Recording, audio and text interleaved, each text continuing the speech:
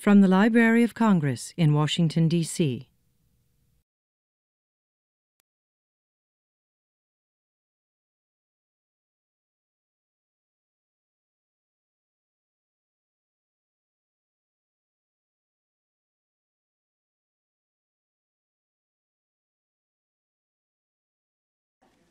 I'm Diana Ingram. I'm the executive director here at Hill Center at the Old Naval Hospital. And it's such a pleasure to have everyone here. I always love to know is this anyone's first time in the building? Oh, welcome. Well, come back. We have all kinds of things going on. You can check it out on your chair, go to our website.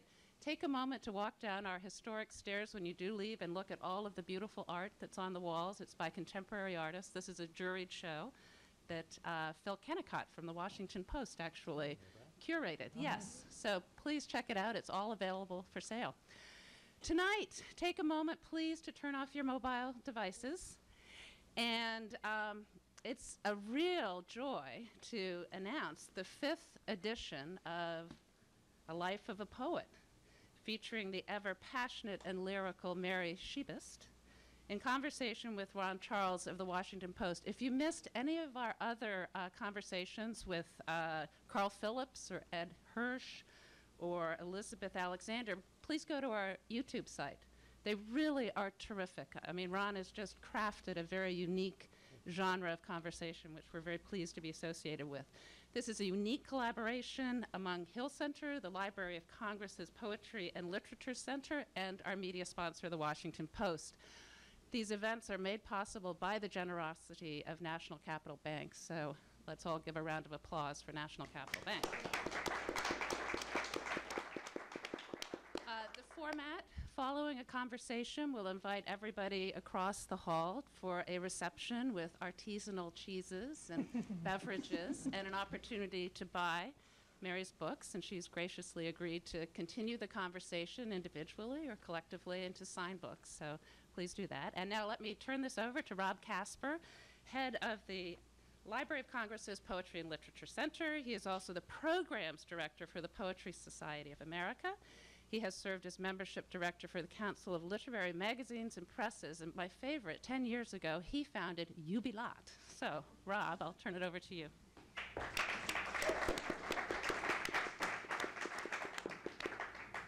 Thanks, Diana. Um, thanks for everyone for coming out. It's nice to see a good crowd yet again for our uh, series um, featuring uh, the ever lyrical Ron Charles. I thought when you were describing lyrical, lyrical, First, and, actually, and first time anyone's done it. um, You never lyrical, Ron. yeah, the the the powerfully probing, not lyrical at all, Ron Charles. um, actually, I did want to say to those of you who are first timers here, uh, you're in for a real treat. No one better explores a poet's work uh, with a poet, him or herself, than the man to my immediate uh, left. Um, and let me tell you a little bit about what's on your seat uh, when you arrived. Um, the Poetry and Literature Center at the Library of Congress, which I am the head of, uh, is home to the poet laureate and consultant in poetry and puts on events uh, like this one uh, over at the library and around uh, the DC area uh, throughout the year. If you're more, if you're interested in finding out more about our events, you can check our calendar at www.loc.gov/poetry.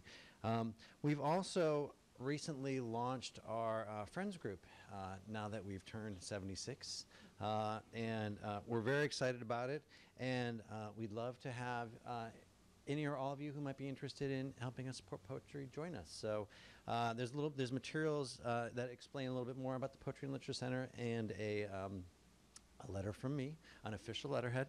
Um, I'd be happy to talk to you more about uh, the event at the uh, at more about the Friends group at the reception. Uh, you can also talk to our dear friend and dear friend of the Hill Center, Steve Simrot, who has graciously agreed to uh, talk to you too. Steve is right here. Uh, he's a sweet good guy. So if you're at all interested, we have some um, beautiful brochures, and we can tell you a little bit more about what we do and how you can help us out. Uh, and now on to Mary Szybist. Um, we're thrilled to have her here to kick off our fall series. Uh, she's the author of two books of poetry. Her first book, Granted, was published in um, uh, in 2003, and it was a finalist for the National Book Critics Circle Award and winner of the Great Lakes Colleges Association's New Writers Award, which means she traveled to a lot of colleges, uh, small colleges around the Midwest, uh, and made a bunch of friends. Uh, her second book, uh, Incarnadine, won last year's National Book Award for Poetry. So she's had a good track record for uh, someone who's just published two books, let me tell you. Uh, she has a number of other honors, which include the Rona Jaffe Foundation Writers Award uh, and a fellowship from the National Endowment for the Arts. And I'm thrilled to say that we actually have uh, uh, uh, some NEA staff back in, in the back. Um, so um, NEA in the house too. Thanks, Eleanor, for being here. Um, in 2009, our, our feature reader was awarded a Witter Bynner Fellowship, which the Poetry and Literature Center gives out. Uh, it is a program, uh, $10,000 uh, fellowships to two writers uh, given by the then Poet Laureate Consultant in Poetry. And uh, that year, uh, the Poet Laureate was Kay Ryan, and she said of um, Mary, Mary Szybist's lovely musical touch as light and exact enough uh, to catch the weight and grind of love. This is a hard paradox to master as she does. End quote. Mary is an associate professor of English at Lewis and Clark uh, in Portland, Oregon, and is a member of the faculty of the Warren Wilson College uh, MFA program for writers. As an undergraduate student, she studied at the University of Virginia with our new, uh, uh, soon to be anointed uh, 21st Poet Laureate Consultant in Poetry, Charles Wright. So today I had the opportunity to talk to Charles about his upcoming reading uh, next week, and I also talked to him about Mary. And uh, he said that Mary was the best undergraduate student he's ever had, and has long surpassed that. he added, "quote Not only is she a brilliant writer, she's also sweet and kind and beautiful." All true. He, he said I could put that in. He also added, her old teacher loves her to death.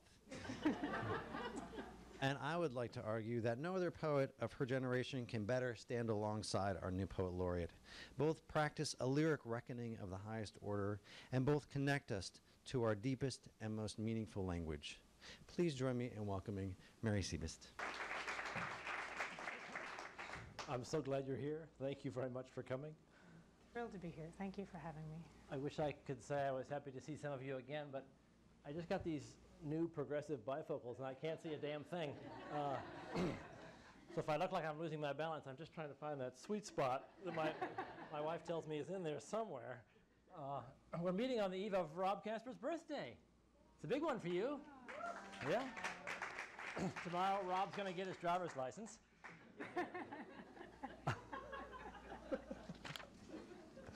As Rob said, we thought about this. We wanted something wide ranging, a conversation that had time to expand, to explore an author's uh, work for an hour, longer than you might find in a bookstore reading, but less technical than you'd find in a poetry journal.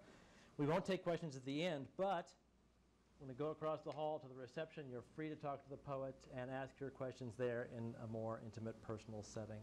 Again, thank you so much for coming. So let's just sit back and see where this takes us. In one of your poems, you refer to the glamour you manage. and as I read your work again and again, that's what you do. You manage glamour. You think of the word glamour as like magic or occult knowledge. It does seem very close to what a poet of your quality does. And you know, one of your poems you write, Mary worries about not having enough words in her head. is, that, is that the poet's most fundamental anxiety? Not having the words in your head? It's one of them. but uh, certainly one of mine. You know the you know the desire to have as much uh, as in some ways as uh, as wide-ranging materials as you can possibly reach to, and words are part of that. I think I'm not entirely sure, but I think the word glamour is actually related to grammar. I think they're from uh, the same. And so I think they're actually the sort of two big tools in some ways that we have the arrangement and then just the stuff of words Right. and, and bringing, uh, bringing the language to the structures and the grammar is, Magic. can be. yeah, it is often in your poetry. When we started this series, I had no idea that what all these great poets would have in common. are bees. Y'all write about bees. What is it with bees and great poets? You mention bees many times in your poetry. So does, so does uh, Carl Phillips. So did Nick Flynn. They all mention bees. What is it about bees? You have not thought about this. I've not thought about this. Now, every time you write about bees, you're going to feel self-conscious. Um, You know, I, I think uh,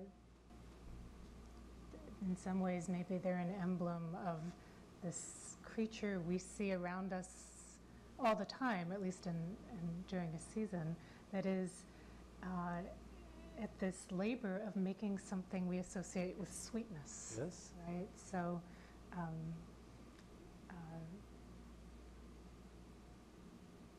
isn't that sort of what a lot? I mean, I think I relate to you know wanting one's labor To be sweet. to to result in something um, sweet. Sure. Nature plays a huge role in your poetry. We'll get to religion, which I know is a big theme, but nature plays a huge role in your poetry too. Are you an outdoorsy person? Um, Several of the poems take place outdoors. You're outdoors working, you're outdoors walking. No, I, I, I like being outdoors. Um, I mean, in really simple ways. I mean, just being in the backyard, walking, uh, being absorbed in the world that is Right. not just the world you've made, Right. right? Or the world that you have assembled in your house or somebody else has structured here or elsewhere. Um, you know, uh, my friend um, Molly Lou Freeman once said that um, she has to spend some time every day looking at something from the natural world because otherwise she feels like she actually stops seeing Yes. in a way that it's something to refresh the eye, as she says it, and and I and I very much relate to that um, because you know every petal, every flower is a little bit different, Right. right? They're um, they're they're a su- surprise. And that's why those elements show up in your poems. That's why you use those poems. That's why you use those elements. Uh, well, I mean, we use what we have, Right. and we use what we're drawn to, I suppose. Right. Um, uh, so, um, you know, using. Uh, You find it inspiring. do I find the natural world inspiring? Uh, I don't know if it's as simple as going out and here's a flower and I'm inspired by the flower and I'm going to write about the flower. I don't think it's quite like that. Right. Um, but wanting, um, uh, in some ways, to bring as much of the fullness of one's world to the poems as possible, and Right. that's part of it. When I was reading Carl Phillips' work, I found all these religious poems. And so I prepared all these questions about his religious, religious background. And so I began by asking him, you know, tell me about your religious upbringing. And he immediately says, I didn't have one. My parents were atheists. I didn't know anything about it. I became interested in religion in a very academic way in high school. That was not your situation, though, right? no. What was, what was your religious upbringing like? Um, well, I was raised um, in the Catholic faith by two very devout parents. Yes. And, Did you take to it? Did you find it awkward or uncomfortable? well, I did take to it, um, and and I did find it awkward. uh, you know, I spent years wanting to be a nun. I mean, Really? I I took it very seriously. So it spoke to you in a deep, sincere way. Very. I mean, I, you know, riding the bus to school, I would be going through Hail Marys in my head. I mean, that was very much my world and uh, the world I, I claimed and Mhm. felt like I belonged to. Um, but, you know, there was also an uncomfortable element to it from very early on What was that? as well. And that uh, I think I learned a lot of fear from it. Um, I mean, Fear I- of I- sin, fear Yes. of, fear of sin. I, I mean, hell. absolutely. I mean, as a child, I was deeply afraid This is a physical reality. of that- hell, uh, that I was going to do something to to be lost forever, right? Um, it was a, it was a real high stakes. visceral fear, uh, and um, and I think also there was a way in which it made me afraid of language. In this way that I remember once, um, I had this habit of saying, uh, "I think, I think, I think." Whenever I said anything, I would just have this repetitive, "I think," and my mother at one point said, "Mary, stop saying I think after everything. It's it's just, you know, tiresome." And uh, she didn't say it quite like that, but she. uh, and and I said, "But I'm so afraid that if I don't, what I say might be a lie." Wow. that I had to couch everything in that this is just what I think Right. at this at this moment that I'm not doing any truth claims because that might damn me forever. It could be know, deceitful, it could be prideful, it c- all those things. All of those things. Uh, so um, I think the answer is both. But that tradition gave you a rich series of metaphors, of language, a history of religious myths to deal with. That was its compensation. Yeah, no, I, I, there, there was uh,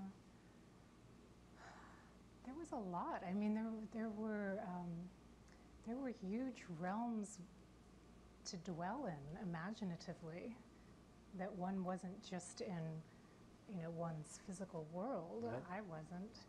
Uh, you know, I mean, a lot of kids have imaginary friends, right? My imaginary friend was Jesus. I, I really imagined he came down for play dates. Uh, you know, we would swing, and you know that. Uh, so, you know, it, it definitely, um, I think, provoked a lot of imagination in in the sort of way it prompted um, me to imagine my place in things. There are some moments of real spiritual despair in your first book. Did you have a, you didn't have a, a Mary McCarthy moment where your faith just whoop, evaporated in a moment. I kind of did. You did. Yeah. Um, Because she, there, she, I mean, there's no anxiety when she loses her faith. She just realizes, oh, what a silly idea that was, and she moves on. no, mine was very sad. Uh, It was a sense of loss. It was a huge sense of loss. Um, and uh, and I remember and I remember feeling like the sense of faith was this really precious thing I had that I didn't want to lose, and I became at some point very afraid. You could sense it being threatened. Yes. and um, and I would even like write letters to myself, like you know, To your future yeah, doubtful to my self. future, right? like you know, to to talk myself out of uh, of, of losing it, and uh, and I do remember, uh, you know, one afternoon as a teenager being in my room. Uh, I I'm the oldest of five children, so at some point I moved up into the attic, which was not a real room, but that was my that was my my space. And um, being up there and just almost feeling it leave my body. Really? Yeah, and uh, and it was it was incredibly sad, and it was like I couldn't hold on to it. Was like, but it was such a very particular sense looking back at it in terms of what I thought faith was. What did you think it was? Well, I thought it was just the ability to purely believe, right? Or this sort of, I think, a real sense of um, uh, uh, faith as knowing in some way, right? Like, you know, I look at it and it almost seems hilarious to me on some level now that I almost thought of faith as almost like this precious pure virginity kind of thing. Yes, it right? does seem- Like yes. Losing faith or losing that, that it's Right. this, this, um, pure sort of thing that you have or you don't, and you believe or you don't believe, and it um, um, and it's not something that can be um, messy or complicated or even engaged with, right? Right. That uh, um, I mean, it's a very weird idea in some ways that um, faith as knowing, right? Because I think that's not what actually f- faith. It's the substance of things not seen. Yeah, it's it's some sort of larger willingness to maybe be open or engage. I mean, it's it's one of the reasons I came to love Hopkins so much. In some way, his his his love not of um, sort of um, purity, right? But glory be to God for dappled things, Yes. right? Not the immaculate world, but a world full of, you know, messiness and spots and, and variations Right. um, things on the move, right? Not something static and simple and pure. Right. In one of your poems, uh, you talk about being attacked and robbed during Mardi Gras. Remember that poem? I do. It ends with, Who told me? Who told me God was personal? You have this sense of like, oh my, how did I fall for that? Right. In another poem, you write about a loved one dying. I would like to imagine that you are not in danger, that we have selves more solid than stars, that we are safe in the pages of books we can reopen to look at each other. And then you conclude, I have no ideas about happiness and no patience to imagine it possible. That is just desperately sad. Well, and that's in the context of um, that it's a poem called "Approaching Elegy," so it's Someone is dying. it's it's in that context. Right, yeah. Right. What draws you back then, having, having described that loss of faith, that desperate loss of faith, that sadness, what keeps drawing you back to religious language and religious images and even the terms of theology after that sense of orthodoxy has faded away? I mean, you haven't given that up at all. Um, For instance, yeah, no, it's a big. imagine that you had lost your faith and then you turned to a very sort of scientific yeah. nomenclature, but you haven't. You, you've retained a lot of religious imagery and language. Why is that? What still appeals to you as a poet? Well, you know, I think uh, there there was such uh, a kind of beauty and magic in it that is not entirely gone. You know, Right. you mean I think about how much of the art I love was um, inspired within, anyway, this tradition, if not by it. Right. And um, uh, you know, even the sense of um, prayer, right? I mean, it's kind of an amazing thing to feel like I can say words in my head and a consciousness beyond me can receive them, Yes. right? I mean, that's a hard thing to give up. Yes, that's a, it is a very lovely idea. Uh, Otherwise, you're alone.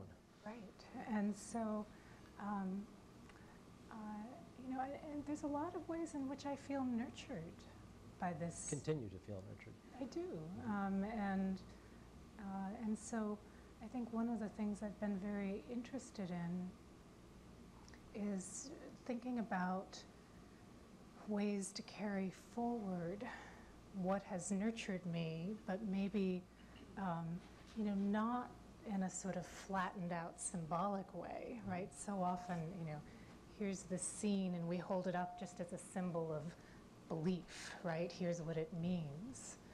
Uh, and um, to, you know, I think a lot of uh, what's great about the tradition doesn't actually work that way, right? That, that, that there are um, great um, promptings and struggles.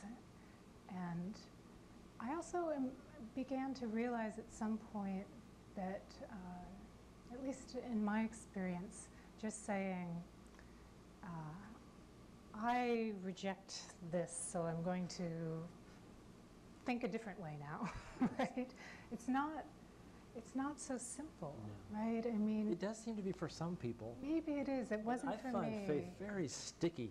Uh, I do too, and and so part of what I started thinking about was, well, just ignoring this isn't going to make it go away, right? you know, uh, so if if it's with me, how can I have a relationship to it that feels um, productive and that is enlarging my experience rather than feeling like it's um,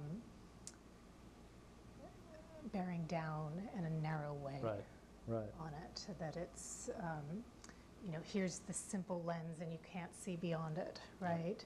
Um, Which I think is the way atheists think people of faith think. Right. Um, but to say, well, maybe I can actually use some of it as a lens to re-see, Yes. right? Um, in ways that I couldn't have gotten to myself, Right. That are, um, uh, you know, I, I really um, like um, Flannery O'Connor saying, faith will be the light by which you see, but it will not be what you see. Very And it will not be a substitute for seeing, right? That, that's not how I want to use it. But the idea that it can be a kind of light or lens and one can actually start using it in creative ways, that's what I was interested in. That comes across clearly in, some, in many of your poems. Uh, if you'd read this opening poem from Granted, Mutatus Mutandis, is that even close to pronounce? mutandis. Okay. Uh, very interested in the way you move from something very simple and elemental and natural to something very big.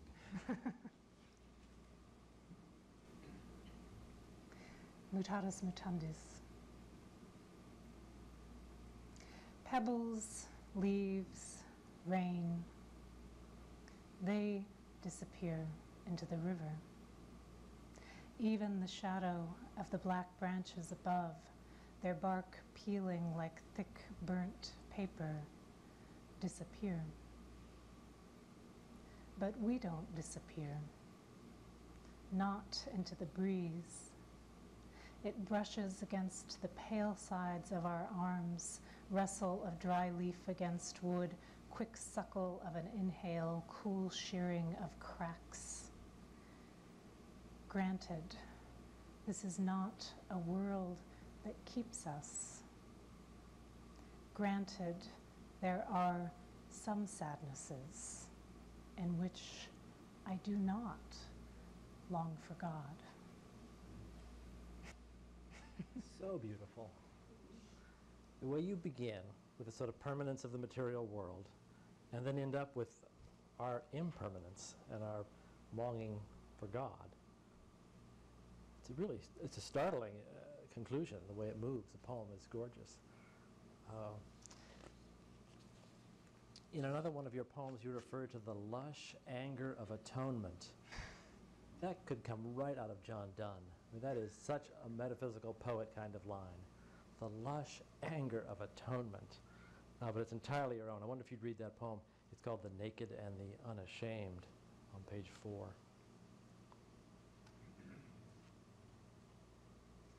Naked and unashamed are two different moments. If I were a classical nude, the distance between my breasts would be the same as the distance from my breasts to my navel, from my navel to the division of my legs. I accuse myself of transgressing. What is it to drag a body through the lush anger of atonement? Always in the arms of something, the God is always swaddled like the infant, the cloth on his hips. Sometimes I believe I am transgressing. When I consider the body in the manger, I feel it in my face. I must look the same way a hunter looks when he decides to take an animal he has never seen before. It's great. great, great ending. Uh, I feel like I'm transgressing. That, that, I think that line works, uh, you know, as I consider all the poems you write. I get this sense that you're transgressing, that you're doing something with, with religious images that, uh, that they're not meant to do, uh, that's surprising, that's startling. Do you feel that, that you're transgressing sometimes? Um, sometimes, yeah, but uh, um, but I, I don't know that I'm ever doing it just to transgress. No, I didn't mean that, right? yes. Uh, that um, a, a transgression, a crossing over to to reach toward a new arrival. Yes, right. Now, in your uh, new book, uh, you write a lot about the Annunciation. Yes, in every different way, every different way imaginable. uh, in really mind expanding ways, from Mary's point of view, from Gabriel's point of view, in ancient times, in contemporary times, uh, from the point of view of the grass, from the point of view of seagulls eating a whale. Uh, there are a lot of different ways you imagine that pretty remarkable moment in religious history. Right? Uh, sometimes violent, sometimes Yes. erotic. Yes. Uh, to get us started, would you read a short poem called Annunciation? It's toward the back. Hope you don't mind.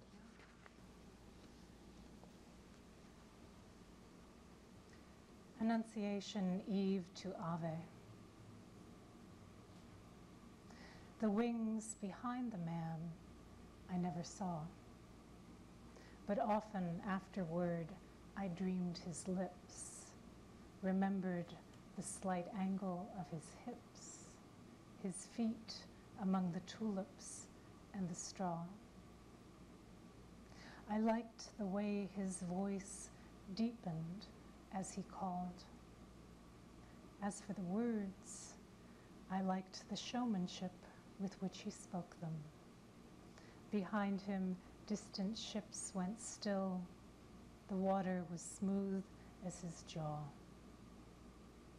And when I learned that he was not a man, bullwhip, horsewhip, unzip, I could have crawled through thorn and bee, the thick of hive, rosehip, courtship, lordship, gossip, and lavender. But I was quiet, quiet as eagerness, that astonished, dutiful fall. I've never thought about Gabriel unzipping. I didn't even picture him wearing pants, frankly. Uh, but I, Right. what else would he be wearing? I don't know. I'm really going to go there. Uh, I understand. Go on. Well, the scene, you know, it, the, the scene of the Annunciation, I think, does have um, some sexual charge to it, right? I mean, yes. it's a scene where, you know, a woman is alone and is visited In the by, night, yes. you know, this, right? And, Right. and is then, and is then with child, right? Yes. Um, so I think uh, that's part of what I'm picking up on here Definitely. from uh, Mary's point of view and trying to allow her some sense of bodily erotic experience, Right. right? Which is, I think, not how we tend to think of No. Mary. I mean, again, that sense of what is expected, right? What is a female body supposed to look like, Right. like in that last uh, poem, and what is an actual experience of body um, Right. and body mixed with desire. Right. I understand the book uh, was inspired by a trip to Italy. Yeah. Um, Tell us about that. Uh, paintings, right? Uh, yeah, I, um, you know, it was my first, my first uh, time there, and the my experience in the museums was just so different than anything I'd experienced quite in American museums where I'd spent time, in that just the vastness of some of these museums, and the collection of medieval and Renaissance art mm-hmm. that is just, it just overwhelmed me how the same scenes come over and over and over and over and over to the point where there were parts like, I, I can't look at one more crucifixion or I'm just going to lose it, right? It's just, it's too much, right? And thank God I am not living in a time where I get to choose between like five scenes and, and, and that's it. It just felt, in some ways, just so limiting. But then, you know, there would also be that experience of going into a new room and thinking, okay, I'm really glad that there's another crucifixion because that's unbelievable. Really, you could still be moved by I them. could still be moved. And, um, and so the Annunciation out of all of these sort of repetitive scenes is the one that certainly drew me. Um, It's one of the five or so scenes that shows up again yeah, and again. yeah. And um, so some of these paintings, the Fra Angelico and the Simone Martini, um, the Botticelli, right? These, It's the one on yes. the cover there? Um, these are, I was seeing them, really seeing them for the first time. Yes. And they were just absolutely amazing to me. So I, I was, I, I started thinking about, um, I'm so glad not to have these limitations anymore. But I wondered, was there something about having those limitations that actually was a productive um, prompt that helped these artists arrive at these paintings? And so I started thinking, what would it mean to bring that kind of limitation to a set of poems? Uh, and what could that, bumping up against that limitation in poetry, could that get me somewhere I didn't expect to go? Right. It certainly does. It did. Yeah. Uh, This, the- your interest in Mary, though, predated that trip for sure. Right. Your name, for instance. Yes, Not a coincidence, right? Right. Well, growing up Catholic, Yeah. with You the knew a lot of Marys. Then I knew, well, it wasn't even so much knowing a lot of Marys, though I, I, I knew some. Uh, it was just always being inundated with the Mother Mary, Yes. right? Uh, and always feeling like I was, um, that she was just this beautiful, impossible. It's the impossible I'd like to talk about. Yeah. It is, it is a strange and, and increasingly complicated ideal to hold up to young women in a liberal society like ours. Well, and, and, and a really problematic one. Yeah. Right. I mean, and, and one I took terribly seriously, right? Um, uh, partly, I think, because of the name Right. identification. But also because of your interest in. in- Absolutely, yeah. all of that. But if you're in a society that believes in equality and sexual liberation, the image of Mary is a tough one. Right. right. Uh, and, and one that I think has really done terrible damage, right? Um, uh, in terms of, you know, that, I mean, that's a kind of straitjacket ideal, right? It doesn't give you any room. I mean, all you can do is fail. Yes. All you can do is fail. and, um, and, and the sense of measuring yourself against something impossible Right. um, constantly. So the sense of being fallen, Right. of not measuring up. Um, and there's, you know, there's something profoundly inhuman Yes. about her About that idea. right? Um, so I think part of the impulse of this book was wanting to tear down that ideal, right? The ideals of purity, the ideals of femininity. Um, I mean, she is valued because she is a mother and because she is a virgin. Right. Into im- And a paradox. I am not either, right? So how does how do you make your way in the world um, as as a woman um, when you are not aspiring to and cannot be valued Right. for either of those and do not want to be valued for either of those, Right. right? Um, so, uh, you know, creating a new relationship to her, which is a way of creating a new relationship to myself, Yes. um, is part of, I think, the struggle of, of the book. Giving her a voice that works for a modern person. In one of your poems, Well- Mary looks back ruefully and says, I was so young, so entirely agreeable to the task.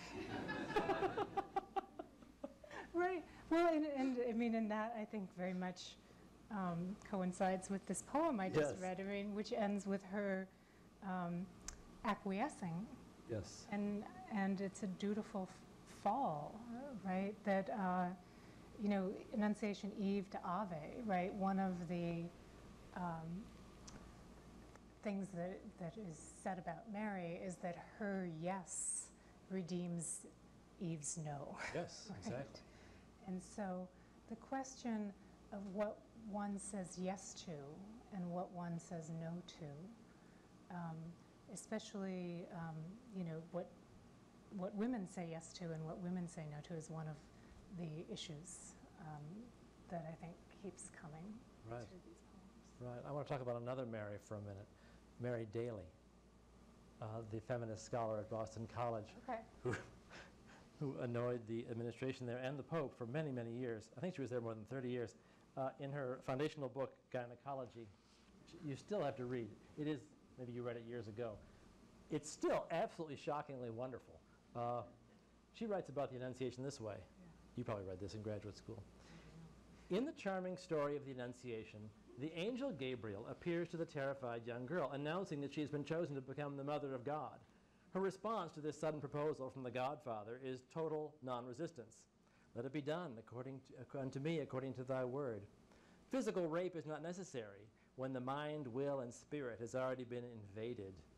In refined religious rapism, the victim is impregnated with the supreme seminal idea who becomes the Word made flesh.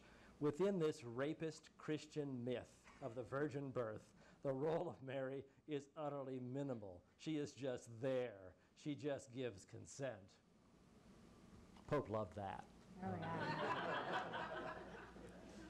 well, I mean, that, uh, that kind of violence um, is very much part of um, what I think about through a lot of these scenes. Um, and, um, but part of what I was also wanting to reclaim in the book was what I actually find very moving about this scene as well. So I'm, I, Yes. I, I'm not, you know, I didn't pick the scene just because I wanted, just because I hated it. Uh, uh, I picked the scene because there's something incredibly moving to me about the image. Um, you know, I, you know, and I have a long history with it. I grew up attending the Church of the Annunciation. Yes. So it literally is an image that I looked at a, a long the stained glass windows. And, uh, but I think part of what the painters uh, renewed for me, in part, was a sense of, uh, you know, all the other sort of scenes that are repeated have often, you know, this central figure, right? Here's the uh, the manger scene or the crucifix scene, right? There's that that center subject. Uh, this is a scene of encounter, right? Yes. And it's a scene of encounter between two very different kinds of being, right? A human and something not human, right? Something, in this case, from a divine realm. Um, and, you know, what that other is, is, you know, a, a little mysterious. Yes. Right? And maybe more than a little. I mean, one of the things I love about the paintings, actually, one of the things that drew me is that Gabriel looks very feminine in most of these paintings. Uh, it looks like a scene between two women, Hmm. right? Which is part of what I, I loved about it, the, the sort of androgyny of that figure. Um, and, um, you know, and the possibilities that come, that come with that. But still, at its heart, I see a scene where somebody is able to actually, a human is actually able to see and perceive someone she didn't expect to see, Right? and can hear this being, perceive this being, and is transformed, Yes. right? And um, that is actually incredibly moving to Yes. me. That um, that maybe where transformation can come from is actually being open and present to some very some kind of otherness Right. right? And actually being able to perceive it. Even though, you know, I love that the artists tend to really honor this space between them, right? So there isn't a lot of, there aren't many images where, you know, you get the sense that they're, you know, embracing Right. or even touching. They're always about to touch. They're always about to. Right. There's, which to me, It's more electric. It's a, it's an electric, the- it's the subject is the space between them. Yes. But it is a space. It, it doesn't suggest that there's suddenly complete understanding or knowing or even communication, right? But something has been Right. understood and communicated. Um, and I, I love that. Did you read a poem uh, uh, called Conversion Figure on page six?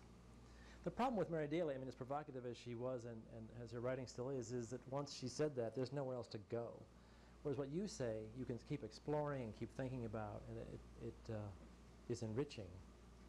Well, and I think finding um, subjects of which one feels of two minds. Yes. right? Right. Um, uh, you know, Auden's p- uh, poems are the clear expressions of mixed feelings. Yes. Uh, you know, spaces where we can, where things can be as complicated as they actually are Right. Right. in some way. Um, conversion figure. I spent a long time falling toward your slender, tremulous face. A long time slipping through stars as they shattered, through sticky clouds with no confetti in them. I fell toward Earth's stony colors until they brightened, until I could see the green and white stripes of party umbrellas propped on your daisied lawn. From above, you looked small as an afterthought, something lightly brushed in. Beside you, brush, blush pink plates served up their pillowy cupcakes, and your rosy hems swirled round your dark head. I fell and fell. I fell toward the pulse in your thighs, toward the cool flamingo of your slip, pa- toward the cool flamingo of your slip fluttering past your knees. Out of God's mouth I fell like a piece of ripe fruit toward your deepening shadow. Girl on the lawn without sleeves, knees bare even of lotion. Time now to strip away everything you try to think about yourself. Put down your little dog. Stop licking the cake from your fingers. Before today, what darkness did you let into your flesh? What stillness did you cast into the soil? Lift up your head. Time to enter yourself. Time to make your own sorrow. Time to unbrighten and discard even your slenderness. That's a really eerie, unsettling poem. It's Gabriel's point of view at the Annunciation. You've moved it way up into the 20th, 21st century, and you've really emphasized the the age of Mary, which is quite young, Yeah. quite younger than we're used to thinking of her. Right. It's it's uh, it's a very uncomfortable poem. Well, you know, Rilke says every angel is terrifying.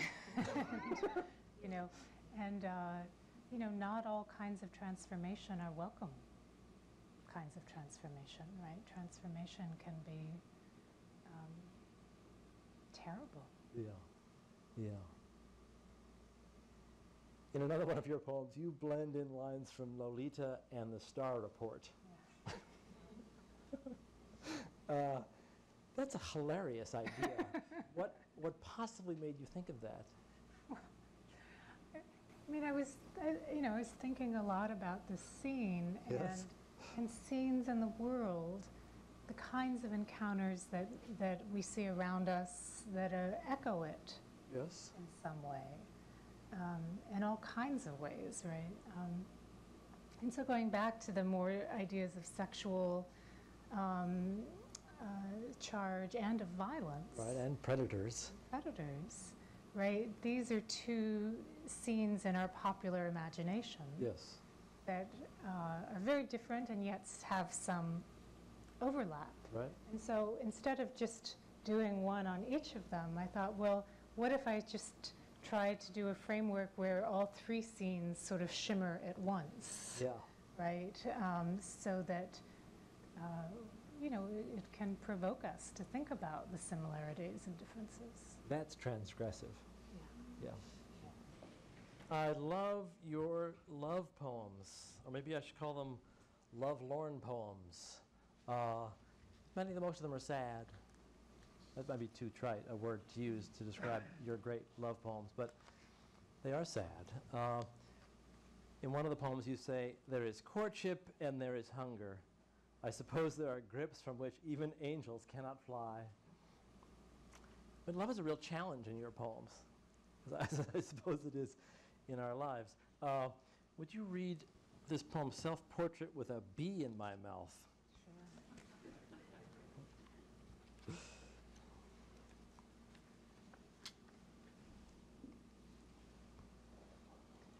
Um, it, it might help for me to preface this a, a, a little bit, and that, um, uh, I mean, it actually was inspired because I did have a bee in my mouth once. Terrible.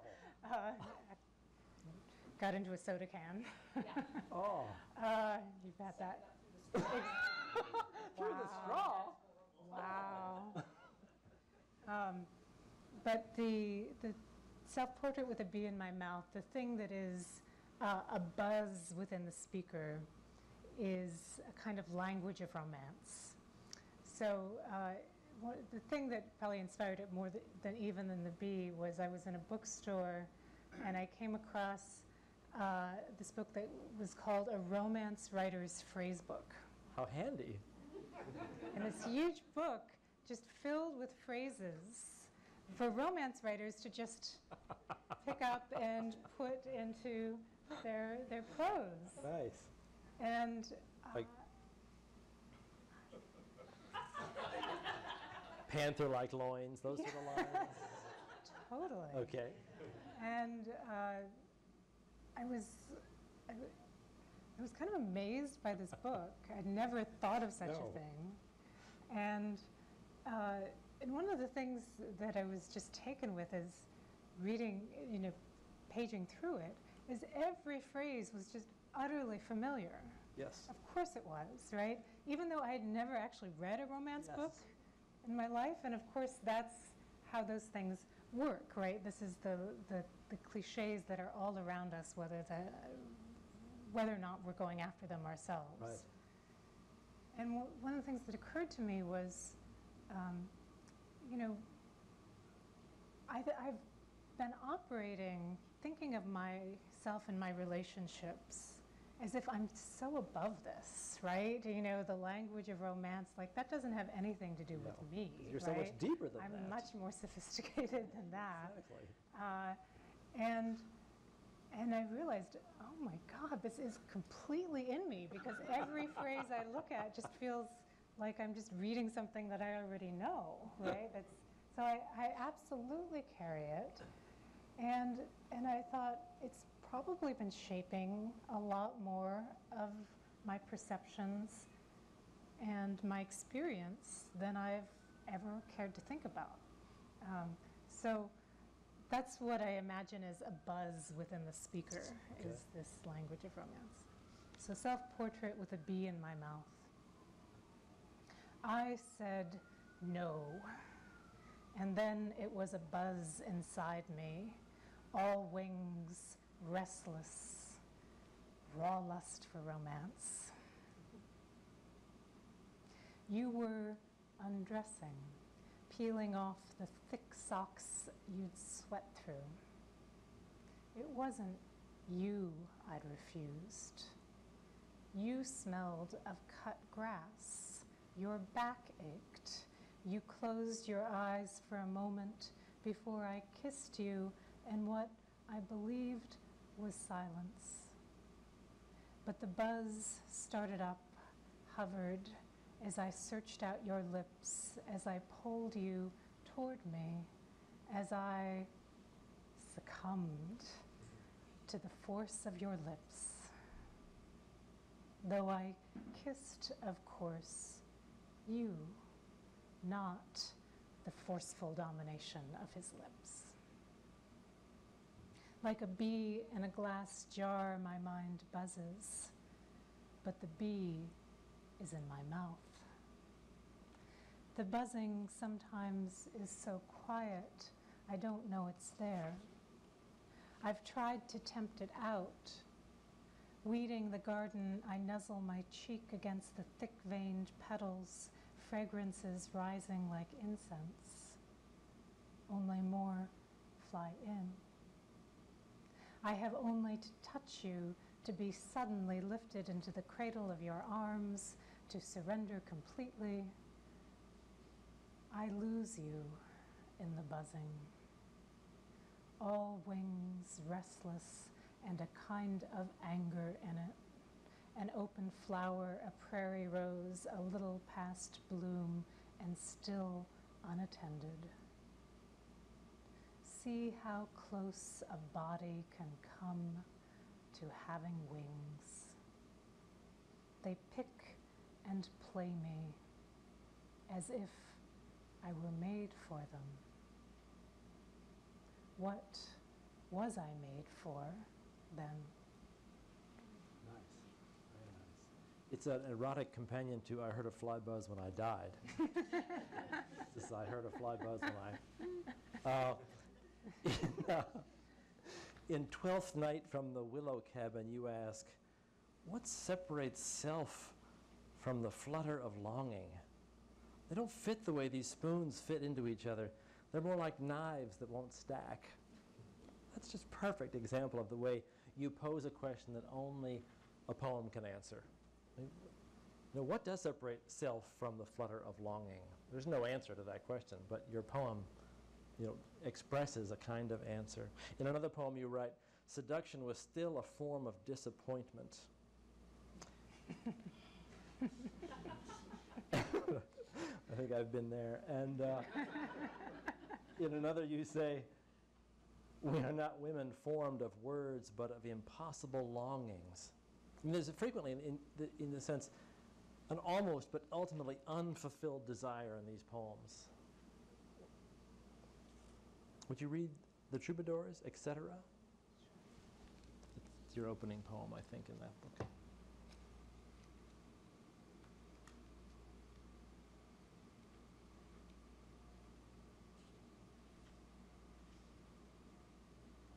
The troubadours, etc.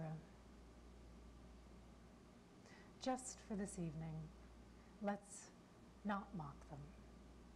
Not their curtsies or cross garters or ever recurring pepper trees in their gardens, promising, promising.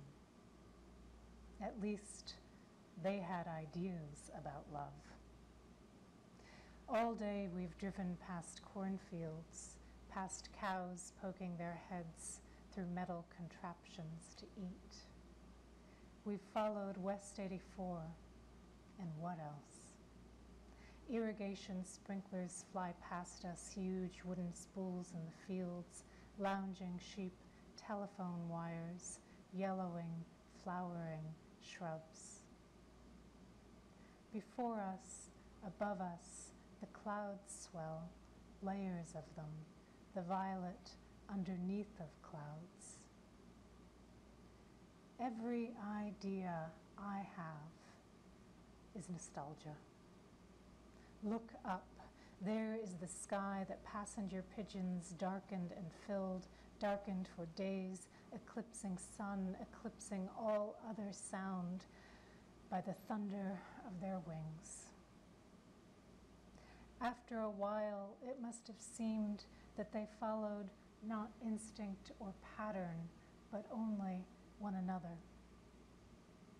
When they stopped, Audubon observed, they broke the limbs of stout trees by the weight of their numbers. And when we stop, we'll follow what? Our hearts. The Puritans thought that we are granted the ability to love only through miracle. But the troubadours knew how to burn themselves through, how to make themselves shrines to their own longing. The spectacular was never behind them. Think of days of scarlet breasted, blue winged birds above you.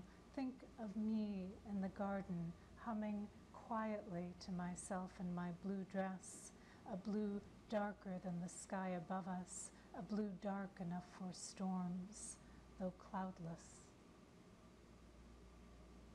At what point is something gone completely? The last of the sunlight is disappearing even as it swells. Just for this evening, won't you put me before you until I'm far enough away you can believe in me? Then try, try to come closer, my wonderful and less than.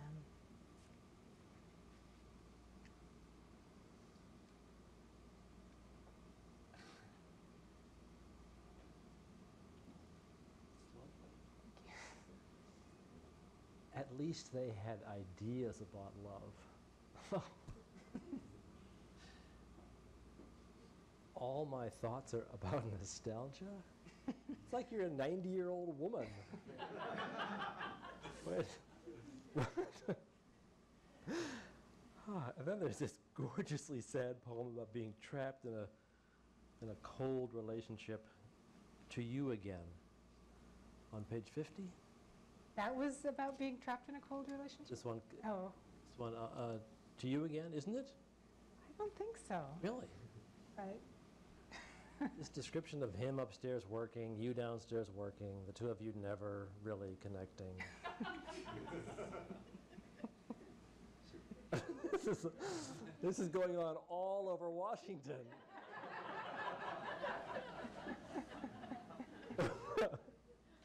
But have I totally misread that poem? Um, you know, Partially misread. I guess I don't think of it as so sad Okay. um, myself. It is, um, uh, you know, because it ends with, uh, you know, yes, it's very, very hard, but there's still the ordinariness of the ways in which we do wake up together. Yes. And, and you are going to come downstairs and tell me something, and I'll say, okay, I'll go on being you're never enough. Uh, that, you know, that, that we're never enough, really, Right. for one another. But we can go on being one another's never enough, right? And uh, that. You're Um, not convincing me at all. well, let's get them in on this too. They don't know the poem, so read the Uh, poem. Okay. To you again. Again this morning, my eyes woke up too close to your eyes.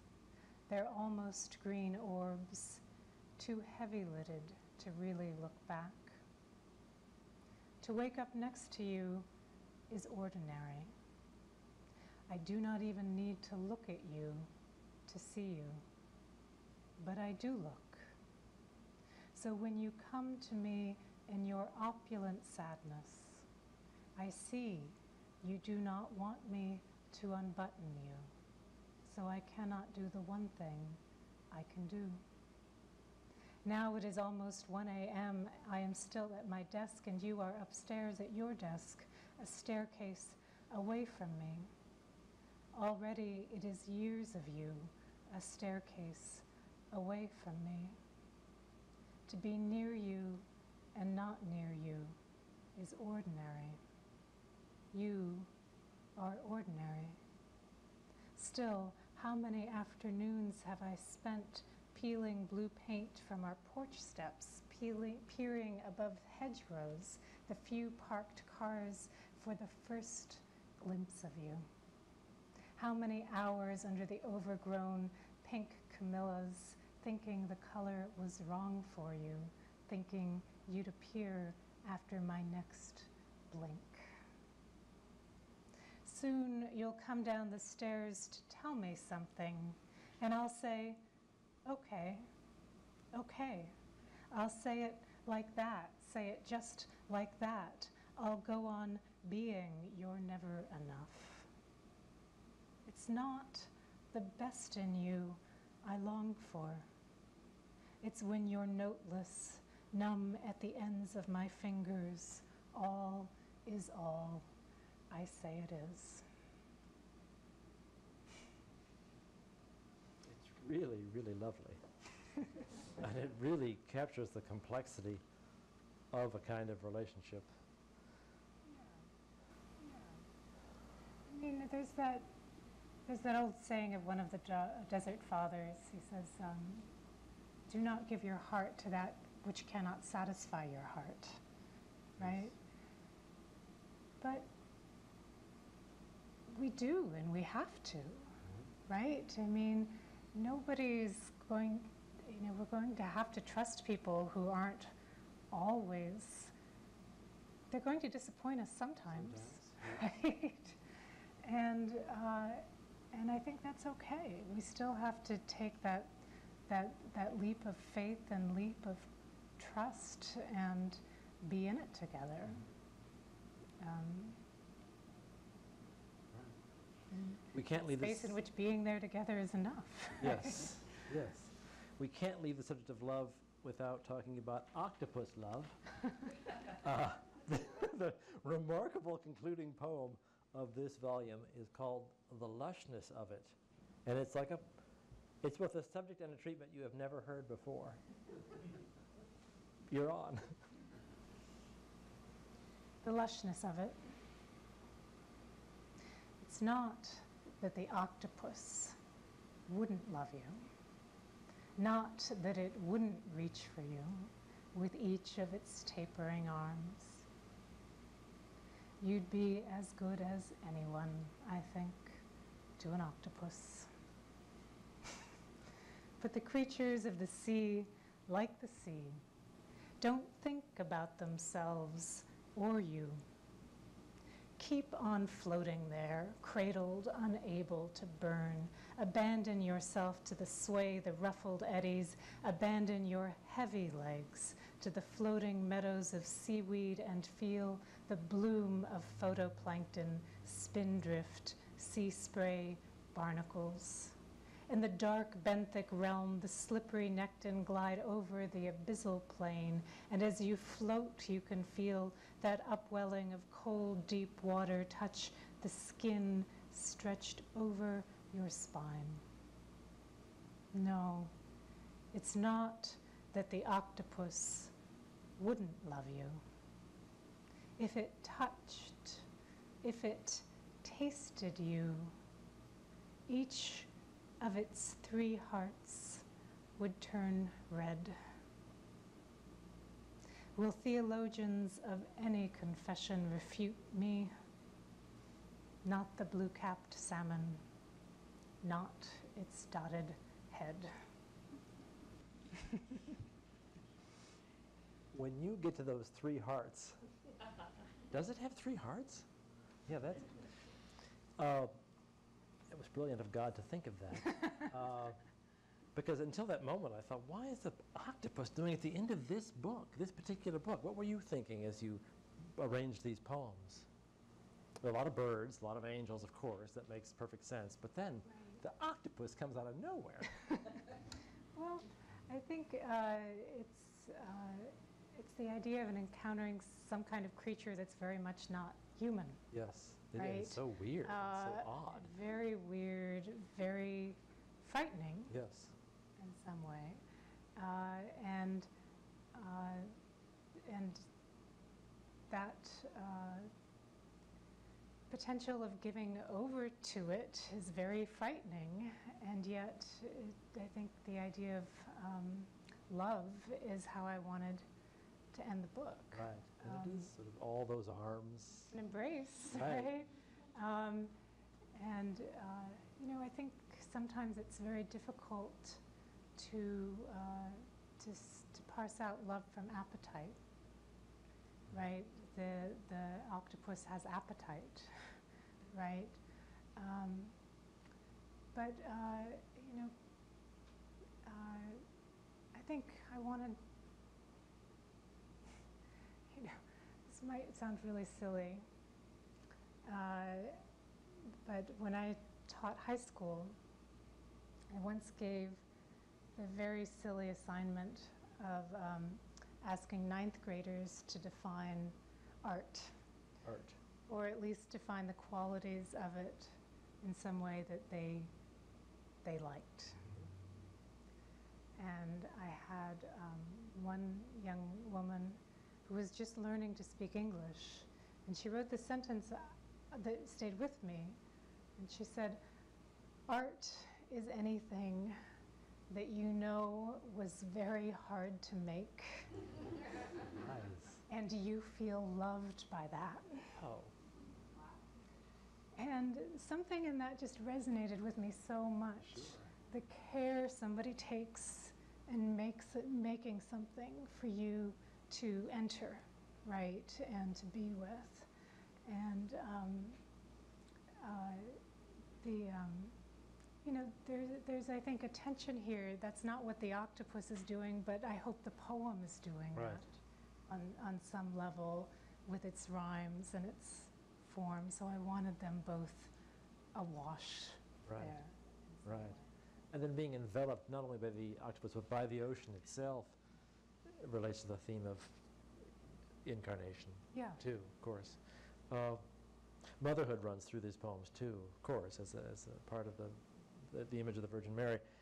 I understand you lost your own mother last year, uh, and clearly there's someone dying while you were writing these poems, or the poems were about that. Did anything help? Faith, friends, time, as you dealt with the grief? Poetry? Did writing about it help?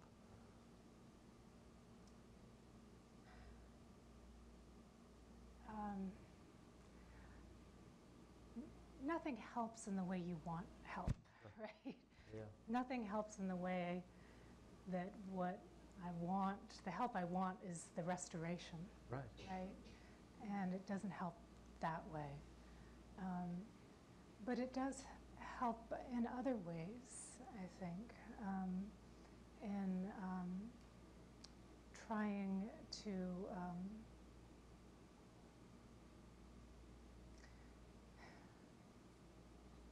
I don't know. Uh, I'm not. I'm not sure I can articulate I don't blame you. easily, but um,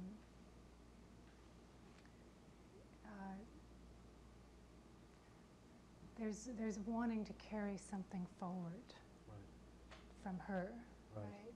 And um, not, you know, I think uh, uh, you know one way we think of carrying our parents forward is having children ourselves, Mhm. right, and carrying forth. But I do think there are other ways.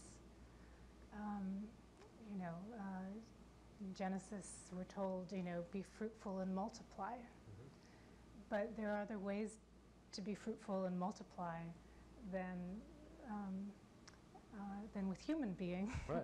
Whitman With- talks about with- all his poems. With language. I mean, you know, uh, in Genesis also, uh, it's, it's a God who says, no, you will not create a Babel where everything can be understood and communicated. It, it, it, it forces a world where full translation and understanding is sort of impossible, and yet um, gives us the task of being fruitful and multiplying meanings and languages. And um, and I think uh, that can be the work of grieving too, of trying to, um,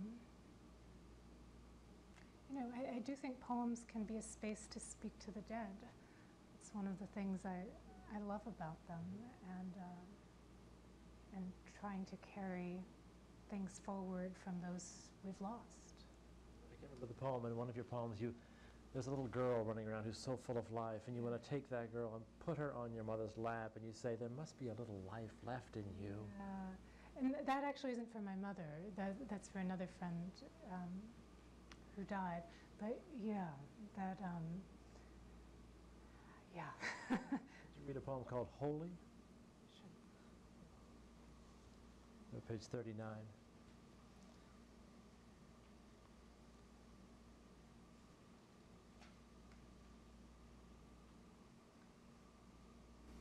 Holy. Spirit who knows me, I do not feel you fall so far in me. Do not feel you turn in my dark center. My mother is sick, and you cannot help her. My beautiful moon faced mother is sick, and you sleep in the dark edges of her shadow. Spirit made to know me, is this your weight in my throat, my chest, the breath heavy so I hardly breathe it? I do not believe in the beauty of falling. Over and over in the dark, I tell myself I do not have to believe in the beauty of falling. Though she edges toward you, saying your name with such steadiness. I sit winding blue tape around my wrists to keep my hands from falling. Holy Ghost, I come for you today in this overlit afternoon as she picks at the bread with her small hands, her small, rough hands, the wide blue veins that have always been her veins winding through them. Ghost, what am I if I lose the one who's always known me? Spirit, know me. Shadow, are you here, splintering into the bread's thick crust as it crumbles into my palms? Is that you, the dry cough in her lungs, the blue tape on my wrists, the dark hair that used to fall over her shoulders? Fragile mother, impossible spirit, will you fall so far from me? Will you leave me to me? To think it is the last hard kiss, that seasick silence, your bits of breath diffusing in my mouth. That is a very complicated prayer. It's doing, I think it is. doing a lot of different things at once. A pleading for faith and a statement of doubt, uh, an acknowledgement of death and an affirmation of immortality, all at the same time, trying, which of course is what we do when we are confronted with these tragedies, which we are.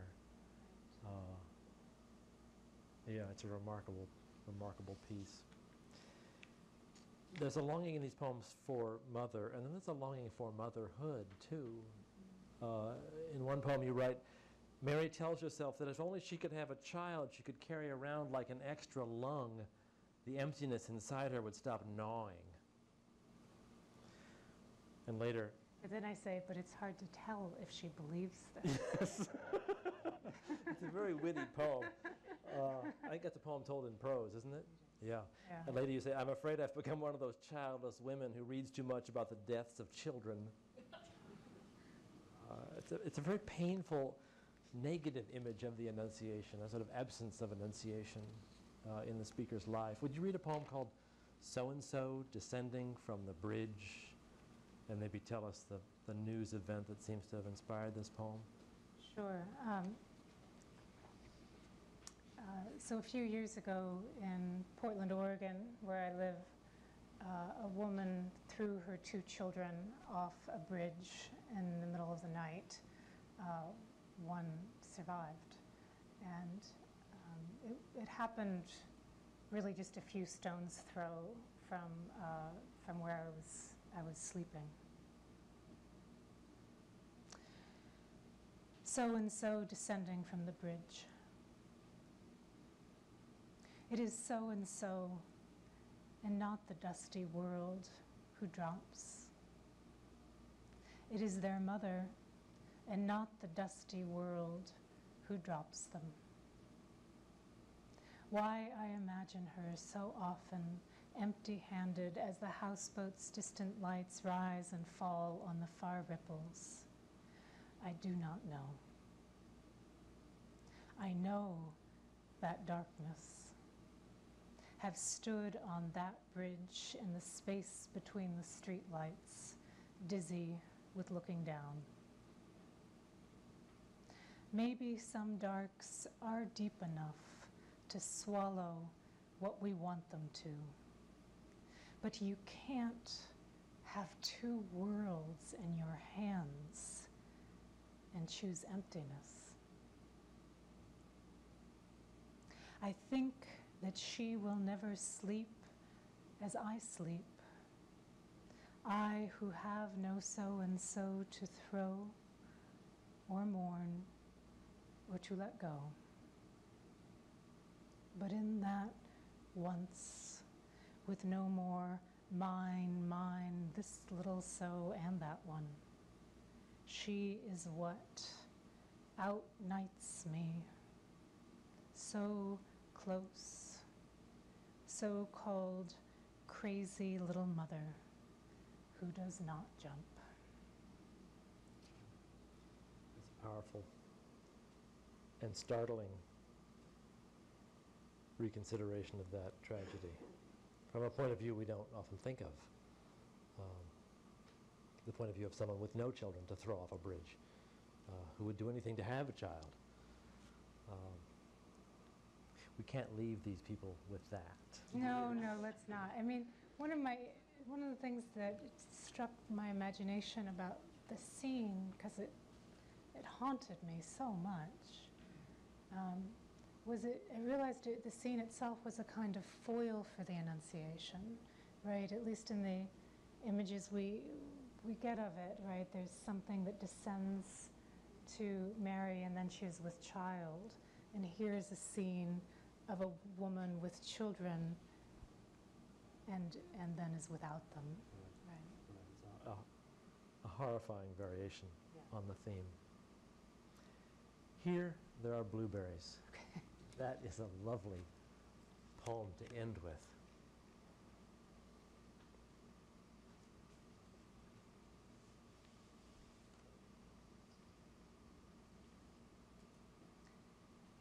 It was inspired by thinking about um, the, um, the repetition, the use of repetition in the Psalms and the music that that makes. Um, but uh, trying to occupy a very different kind of voice within it. Here, there are blueberries. When I see the bright clouds, a sky empty of moon and stars, I wonder what I am that anyone should note me. Here there are blueberries, what should I fear? Here there is bread in thick slices, of whom should I be afraid? Under the swelling clouds we spread our blankets. Here in this meadow we open our baskets to unpack blueberries, whole bowls of them, berries not by the work of our hands, berries not by the work of our fingers. What taste the bright world has, whole fields without wires, the blackened moss, the clouds swelling at the edges of the meadow. And for this I did nothing, not even wonder. You must live for something, they say. People don't live just to keep on living. But here's the quince tree, a sky bright and empty. Here there are blueberries. There is no need to note me. That is a benediction. Mm. Thank you so much.